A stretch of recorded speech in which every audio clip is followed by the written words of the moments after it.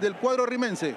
Correcto, dos cambios entonces importantes, no solamente en el aspecto nominal, sino también dentro del dibujo táctico que ha mostrado habitualmente el cuadro de Sport Cristal en esta oportunidad. Ávila va de titular, también el Jesús Pretel cuando los equipos están saltando en estos momentos al terreno de juego, tanto Sport Cristal como Universitario de Deportes están saltando a la cancha, señores, y todos los papelitos celestes y blancos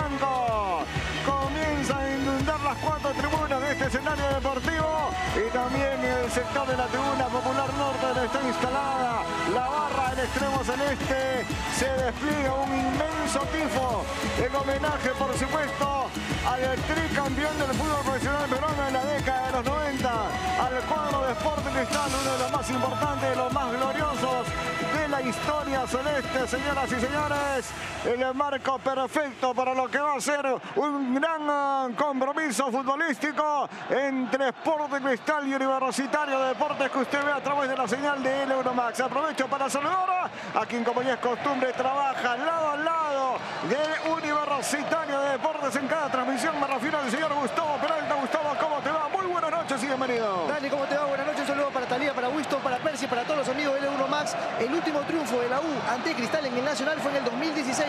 Gol de Edison Oreja Flores. Así que, sin lugar a dudas, a partir de ahí los cremas van a tratar de fortalecerse. Va segundo Portocarrero en el equipo titular en lugar de Nelson Cabanillas, teniendo en cuenta la alineación de la fecha pasada.